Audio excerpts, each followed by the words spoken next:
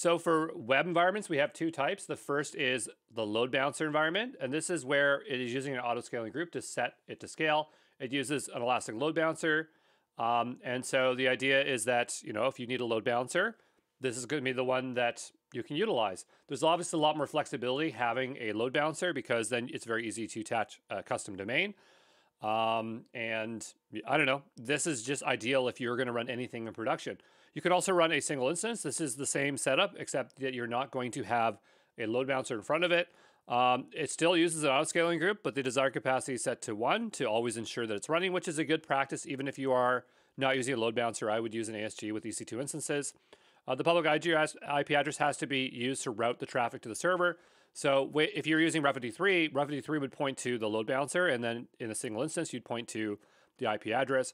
And I didn't write it in here, but it actually sets up an elastic IP address. So that is another thing to consider, okay?